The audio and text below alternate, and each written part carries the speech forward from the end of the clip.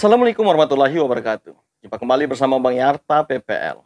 Apa kabar sobat semua? Semoga selalu dalam keadaan sehat dan berbahagia.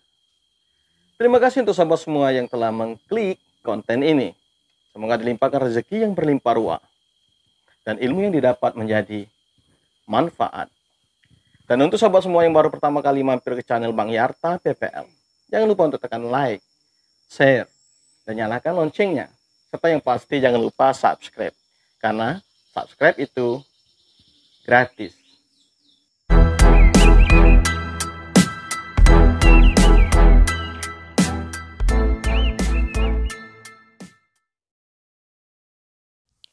Pada konten kali ini, kita akan coba menampilkan titik koordinat dan lokasi pada foto. Dan aplikasi yang akan kita gunakan adalah Open Camera.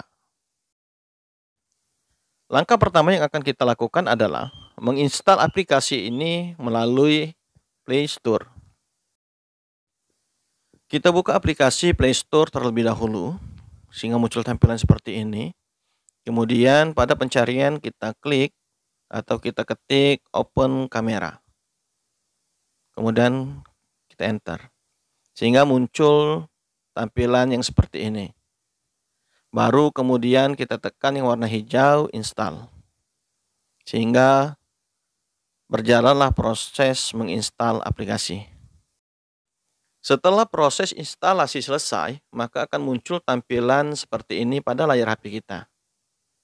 Kemudian kita tekan dan kita masuk kepada open kamera, izinkan, kemudian kita oke, OK, sehingga muncullah tampilan seperti ini. Ini adalah tampilan awal aplikasi Open Camera yang kita miliki sebelum kita lakukan pengaturan. Langkah selanjutnya adalah kita akan melakukan pengaturan pada kolom pengaturan Open Camera. Kita klik pengaturan. Kemudian pada bagian foto setting ini kita klik. Artinya kita akan melakukan penyetingan atau pengaturan untuk foto kita. Selanjutnya kita scroll ke bawah. Sehingga sampai ke stem foto ini kita buat stem foto. Kemudian kita scroll lagi ke bawah. Dan pada bagian GPS stem format ini kita buat degrees garing minute garing second atau yang di tengah. Kita scroll lagi ke bawah. Pada distance unit, ini kita klik. Kemudian kita buat meters. Dan pada custom tag, ini untuk memperjelas atau memberi keterangan pada foto kita nanti. Kalau di sini akan kita coba tulis Bang Yarta PPL. Kemudian kita klik OK. Di bawah custom tag ada font size, artinya ukuran berapa huruf pada foto kita nanti. Ini kita buat 12. Di bawahnya ada color, kita buat warna white. Tapi terserah mau warna apa. Kemudian font text stylenya kita buat shadow text. Bisa juga pilihan-pilihan yang lain. Ada tiga pilihan di sini. Setelah itu kita akan coba melakukan foto pertama. Tapi sebelumnya kita harus kembali dulu ke depan. Pertama-tama kita harus mengaktifkan terlebih dahulu lokasi ini ada di tampilan depan sekali di HP kita. Lokasinya kita klik sampai berwarna biru, artinya sudah kita aktifkan.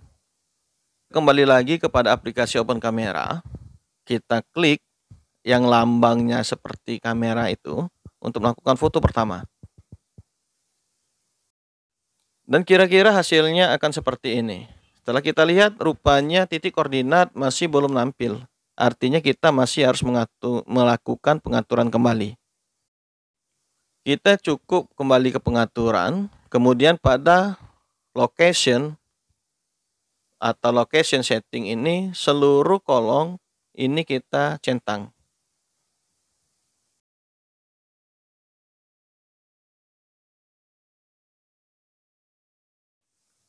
Kemudian kita kembali kepada tampilan depan dan kita lakukan pemotretan dan hasilnya seperti ini. Dan titik koordinatnya sudah nampil. Dan untuk menambahkan lokasi pada hasil foto kita, Kalau yang tampak pada layar ini belum ada lokasinya, baru keterangan foto. Kita cukup kembali ke menu pengaturan. Kita klik phone setting. Kemudian kita scroll ke bawah. Sampai kepada bagian use address. Ini kita klik dan kita klik yang display address. Artinya kita ingin menampilkan. Kemudian kita coba foto ulang dan kira-kira hasilnya akan seperti ini. Sudah nampak komplit, sudah ada keterangan dan alamat. Demikianlah sobat semua. Semoga konten ini berguna dan bermanfaat bagi kita. Tak ada gading yang tak retak, tak ada kalimat terucap yang tak memiliki salah. Bang Yarta PPL undur diri. Sampai berjumpa pada konten berikutnya. Wassalam. Salam Tani.